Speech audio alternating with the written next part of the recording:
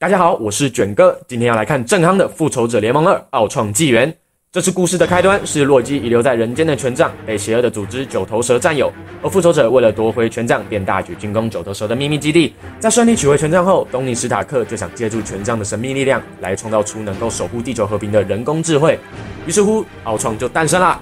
没想到，在奥创的认知当中，复仇者乃至整个人类才是威胁地球和平的最大万恶根源。奥创就在伙同新角色快音与绯红女巫后，与复仇者们展开激烈的战斗。所以，两个多小时的电影就这样开始啦。相较于第一集而言，我觉得这次的复仇者联盟更加好看。除了爽度与深度更加升级外，对于角色之间的感情有更多的描写。对于一部充斥着众多主角的电影来说，这是在每个英雄戏份的比重上有了更均衡的分配，比较不会让观众觉得，诶，这家伙来跑龙套的。最明显的角色就是鹰眼，看看上一次的鹰眼，再看看这次，重要性与帅气度整个大跃进啊！而奥创虽然不像洛基坏的那么萌，但个性也是出奇的相当逗趣讨喜，可见程度更胜钢铁人，会让人忍不住想要养一只。纵观来说，虽然这种英雄动作电影正反两派总是会有一百个不趁对方还很弱时把对方 KO 掉的理由，就是喜欢等到对方变得更强更厉害才要去找对方打架，毁灭或拯救世界也都一定要等到电影结束前三十分钟才要认真开始。但就算是这样，却依然不减复仇者二的帅气。看英雄们施展各种合体技，还有互动中产生的笑点，就是爽啊！就我自己主观的感受来说，我觉得这是在画面的应用上更加凸显了团队的要素，而剧情也达到承先启后的作用，为接下来的内战铺路。如果你是 Marvel 系列的粉丝，那你一定不能错过。如果你对这些英雄没有特别兴趣，但想看场动作爽片的话，《复仇者联盟：奥创纪元》绝对是你最佳的选择。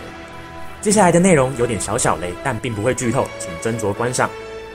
有看片尾彩蛋的都知道，萨诺斯应该会是复仇者电影的最后大魔王，只是现在与主角群们还没有任何交集。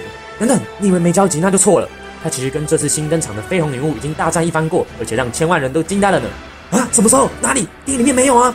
以下画面不建议在公共场所观赏，后果请自行负责。萨诺斯，绯红女巫，大战，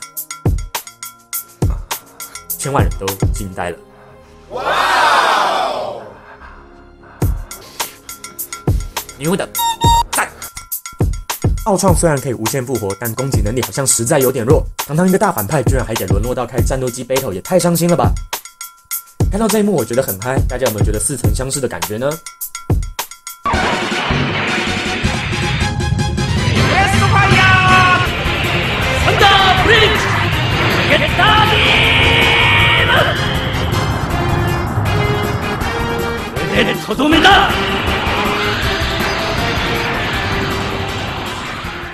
以上就是今天卷哥看《复仇者联盟：奥创纪元》的内容，而之后应该会制作一些充满恶趣味的恐怖惊悚电影，像是《冰雪奇缘》第一、第二集，或是同样由《复仇者联盟》导演乔斯·温登所编剧的《鬼屋》，希望大家会喜欢。我是卷哥，我们下次见，八八六。